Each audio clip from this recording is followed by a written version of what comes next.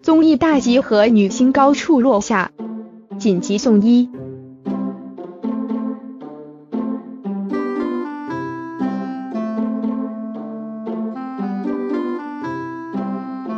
胡瓜主持的综艺大集合，经传女星受伤。图民事提供。二零一八年二月四日。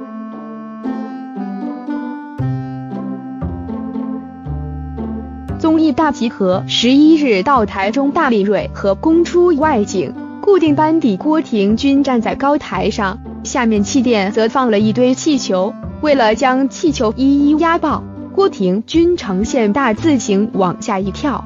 虽然气球真的破了，但郭婷均却趴在垫上迟迟没有动作，似乎是受伤了。阿翔见状上前查看后，回头紧张地看住众人。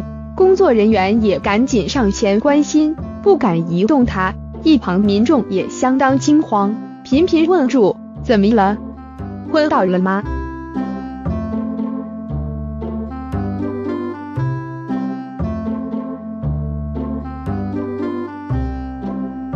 据苹果日报报道，该节目制作人肖介修对此事回应：郭婷均玩游戏跳气垫，因为姿势不太对。跳下来时，他用手去撑，后来送医院照 X 光，还好没伤到骨头，只有伤到筋，算是不幸中的大幸。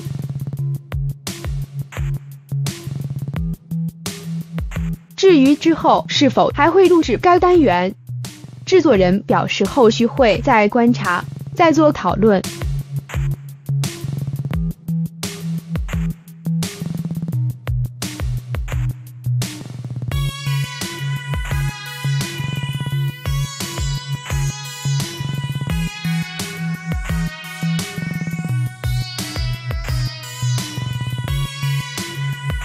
郭婷均趴的不起，阿翔赶紧上前查看。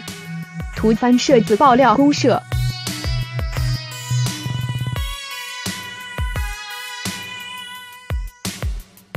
郭婷均经传受伤。图翻摄自脸书。二零一八年三月十一日。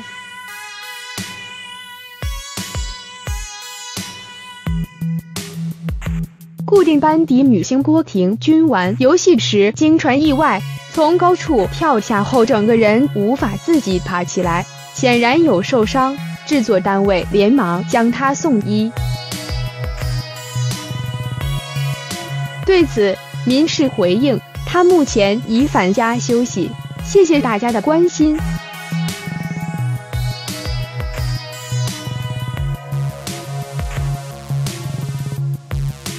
对于郭廷钧受伤一事，民事回应如下：关于郭廷钧今天录影综艺大集合，给我报报单元传出受伤一事，制作单位有第一时间处理，并送到医院检查伤势，检查后确认是筋拉伤，持续冰敷就好，已无大碍，目前已返家休息。谢谢大家的关心。